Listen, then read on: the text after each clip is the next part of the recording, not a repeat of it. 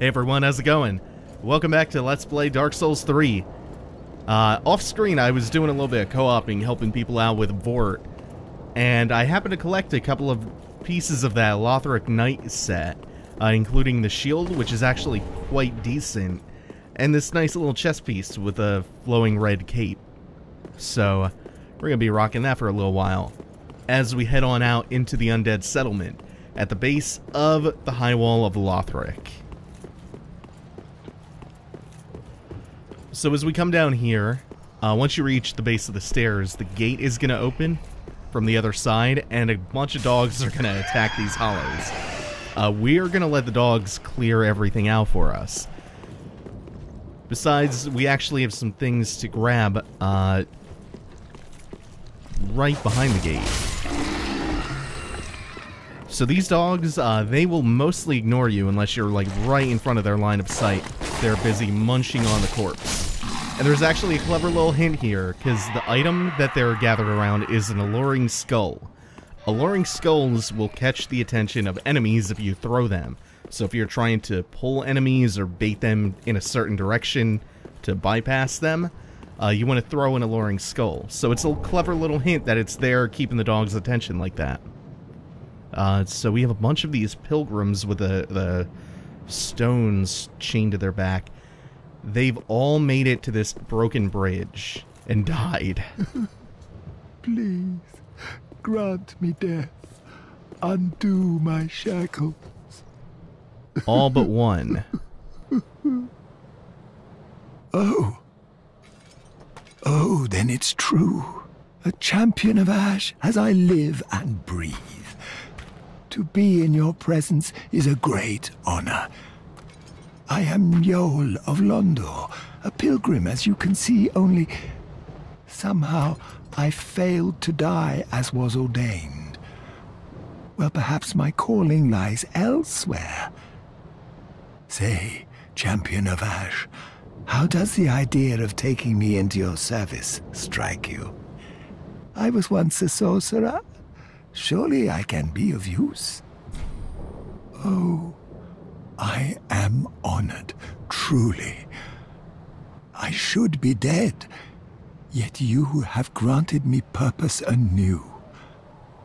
I, Yoel of Londor, do solemnly swear myself to you. There are times when his inflection makes him sound like uh, a decrepit old Jafar. But regardless, we're going to take him back to Firelink Shrine and accept his services anyway. Yoel of Londor. Uh, Londor is the land of hollows. He mentioned he himself was a hollow and a pilgrim. Uh, so these pilgrims from Londor, the land of hollows, seem to come to Lothric just with the sole purpose of dying. I find Londor and everything that goes on there really fascinating, and I'm really eager to uh, explore that and learn more. How did that not hit? I guess the hitbox of the blade went right over the dog. Right over his back. There's uh, quite some interesting stuff that I was hinting at last time going on with the Pilgrims of Londor. Uh, but this, once we pass through the gate and we come to our first bonfire, this, oh, don't want to summon, this is uh, the Undead Settlement proper. This area is enormous. It is truly gigantic. That message is a huge lie. Don't jump off there. Uh, if this is your first Souls game and you're playing online, you're going to notice a lot of these player uh, inscribed messages that tell you to do things like jump off of cliffs. And it's not always clear when they're just trolling you. Because sometimes you do have to take a leap of faith to get to an item. That one is a lie. Don't jump. Don't do it. Let's see, you have to attack this hanging corpse in order to get the small leather shield I was clearly holding. And before you go further down in this building, uh, let's see, there is this that you can attack. We'll call back to Demon Souls. Uh, ooh, I'm aiming that poorly. Try not to step off the cliff, too. Uh, there is a body that we cut down. And we'll get to that sooner or later. There are, there are a lot of those in the Undead Settlement in particular. They pull that trick a lot here. Uh, so, this is, like I'm, I'm was saying, um, this is an intricate, tricky area, very layered zone. And you can carve it up into distinct little sectors. Oh, I wanted to do a plunging attack. Each sector has a bunch of really well concealed pathways. Overall, this zone is like insanely well constructed. Um, should be one more of you patrolling? Good. Those enemies can be kind of slippery, just because of how they move, how far they can actually reach you when you're outside of their what you think is their melee attack range, and because of the their kind of small compacted hitboxes. Loretta's Bone. Loretta is a name that should sound familiar. Old, discolored human bone with several holes bored into it. A human, a woman's corpse in the undead settlement was found clutching this bone. Her name was Loretta. Loretta is the name of the woman that Greirat wanted us to uh, give the blue tearstone ring to. Uh, let's try. Okay, I was close enough. You can usually tell the explosive barrels apart from the regular ones. Ah, not far enough. That is too far. Excellent. Whatever. We'll just go deal with this. Uh, let's just solve the problem.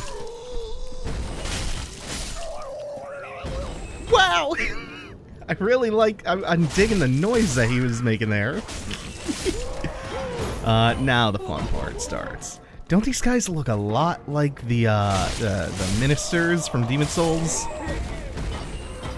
These ladies, I should say. I think it's it's the frilly thing around their necks on top of the size. Also, a lot like th there's uh more than a passing similarity to Hemwick Charnel Lane from Bloodborne in this area.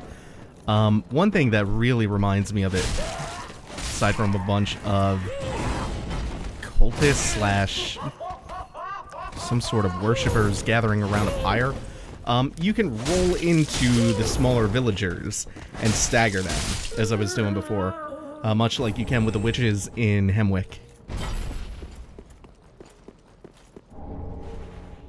Soul of an Unknown Traveler, not bad. Um, they completely changed the names and the suffixes of all the souls, so I don't know what gives, what kind of soul gives what denomination of currency in this. So it's largely irrelevant until you use them.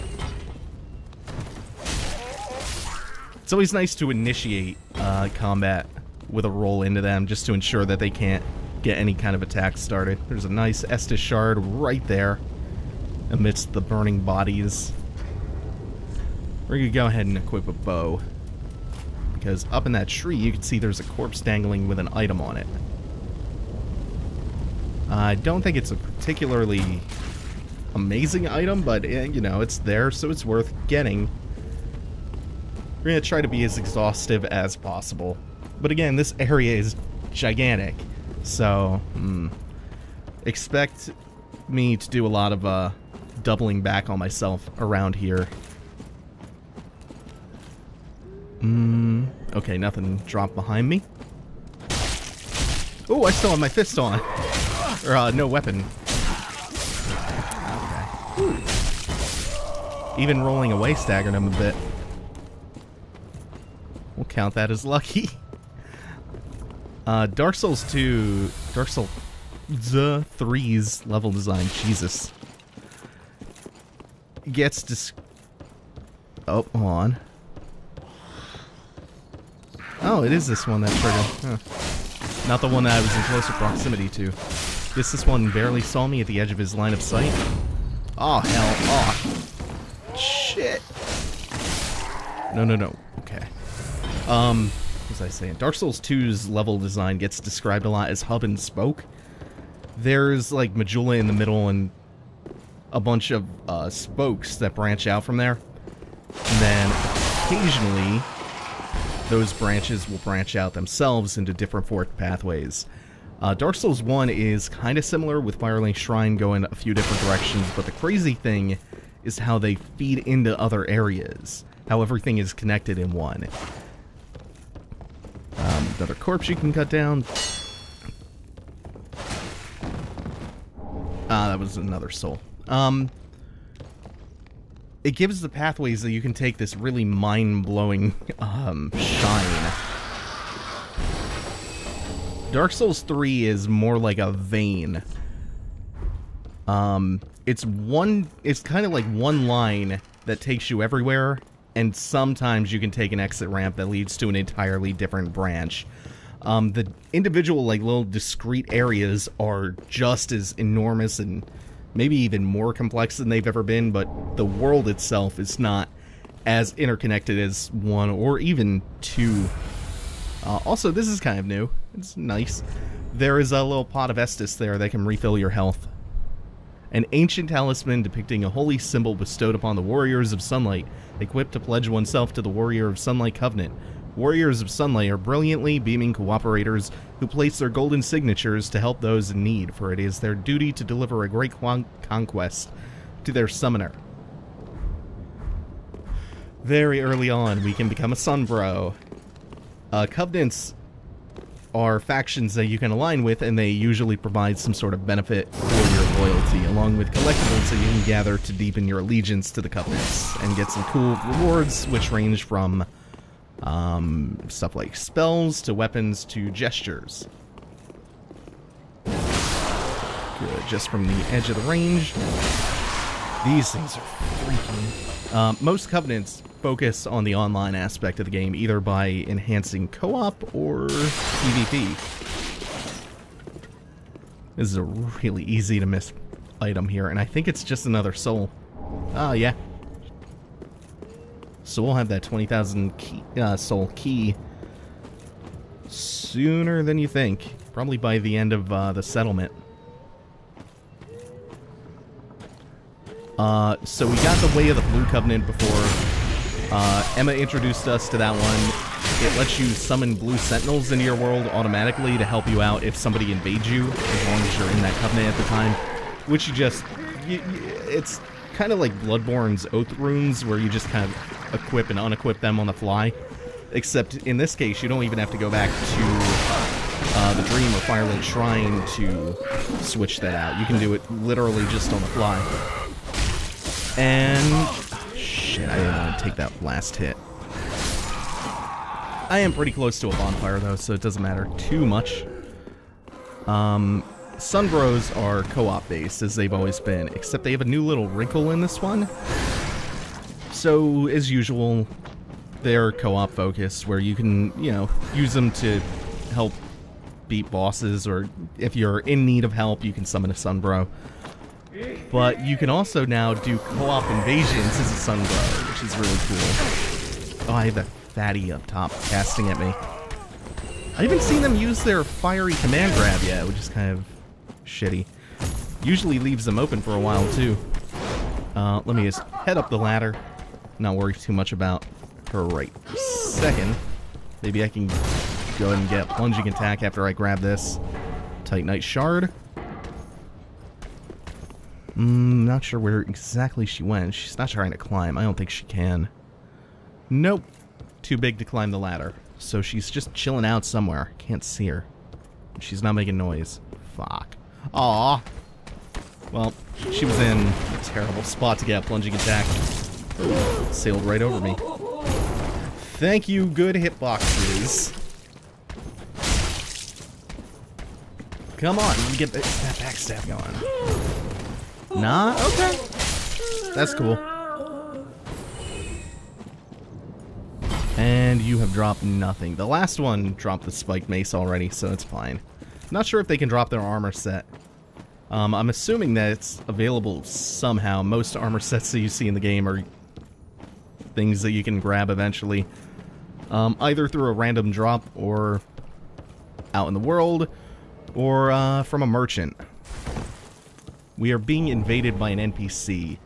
Uh, I'm not going to worry about the NPC right now. Ah, the Crystal Lizard got away. He will respawn, though. This is not Demon Souls, where you get punished extremely hard for letting lizards slip away. Uh, so, we're not actually done with the area covered by that first Undead Settlement bonfire, so we're just going to teleport back there. Uh, we're going to ignore the in, the NPC invader for now. We'll be back there. We will be back. But again, this is such a densely layered and packed area. The entire zone, I should say. Um, that you'll usually want to take several trips through each distinct little zone of the area. Just to make sure that you've covered all your bases. Um, the way they conceal paths here, you will wind up, it, it's your first time through and you don't have some kind of uh, guide or visual reference, you'll wind up doubling back through a lot.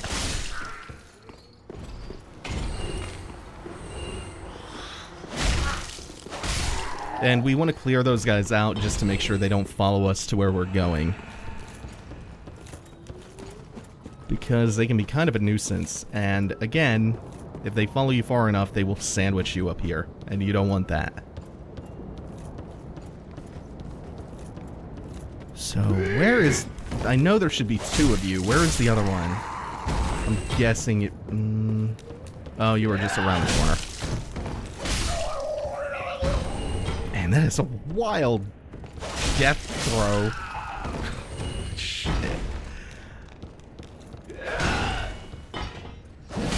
Perfect. Uh, oh, and we guys is uh, pitchfork. Now, you see an item up on that roof. We'll get to that soon. Oh. Oh, you're just gonna keep going, huh? Damn. I think this one is the... Oh. Shit. Normally, he drops his flamberge. Flamberg? However you pronounce it. Um, sure there's another opportunity to get one of those, and it's not like I was planning on using it, but I don't know, he saved me the trouble of having to kill him. The Caduceus round shield.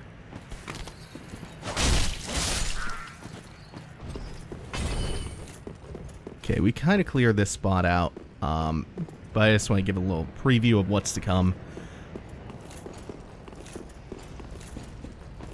The safe way of going about this is to come over here first. This is a path that's really easy to miss.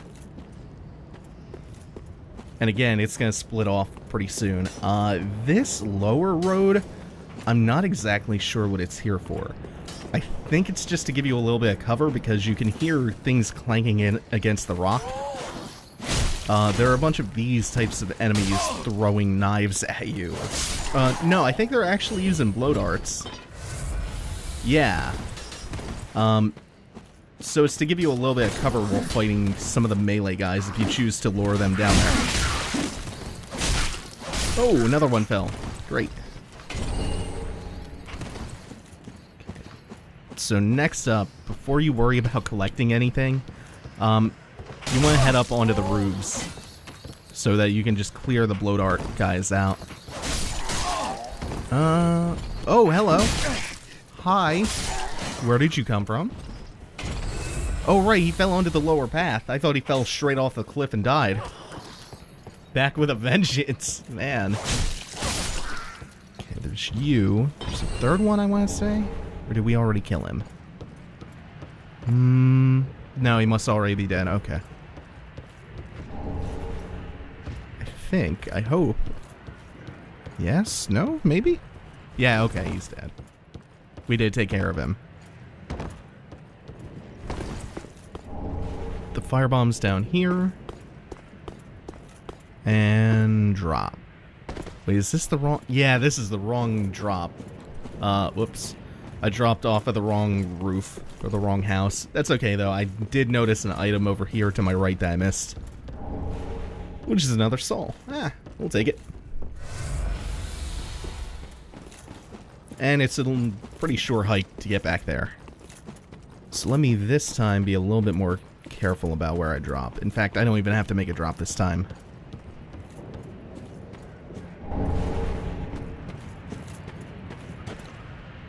Another Nana disappeared. The Grand and carries a cage. He ever has his cage. And Nana's never coming back. So come into the cage and become Nana's shade. Another Nana disappeared. And so Another word for shade in this context is ghost or phantom. Uh, phantom is the term that the game uses for either invaders or cooperators. And he's talking about someone's cage. So that's actually a hint for right here, because you might otherwise mistakenly attack this enemy who you could totally lock onto and kill, uh, but who is otherwise non-hostile to you right now. So he's saying climb into the cage and become Nana's shade, or phantom. So let's do that.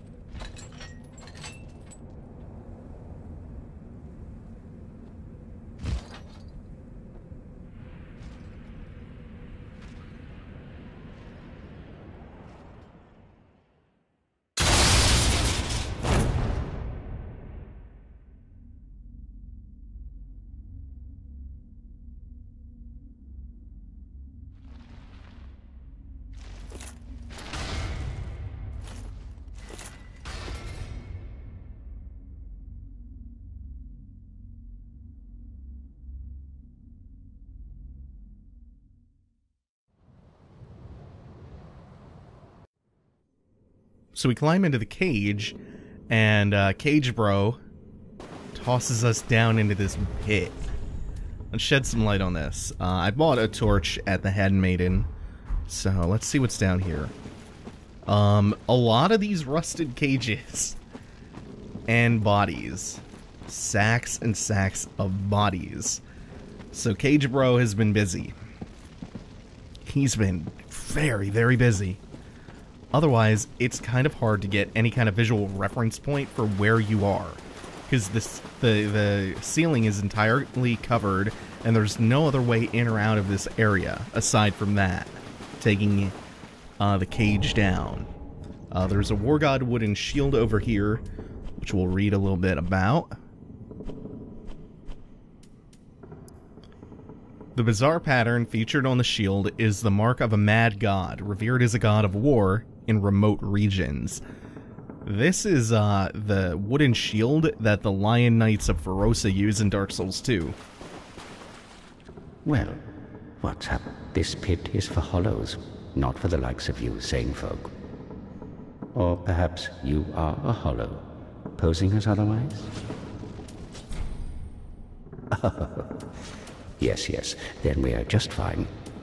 It's important to know who you are but we'll all be mad soon enough.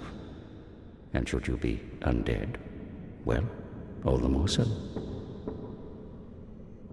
Beware, the shackles of the gods are fragile.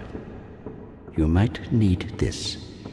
Etch it on your heart if you feel your sanity slipping. Come here to pile up your victims, for that will form your anchor. You'll see when you go mad. They'll be your family.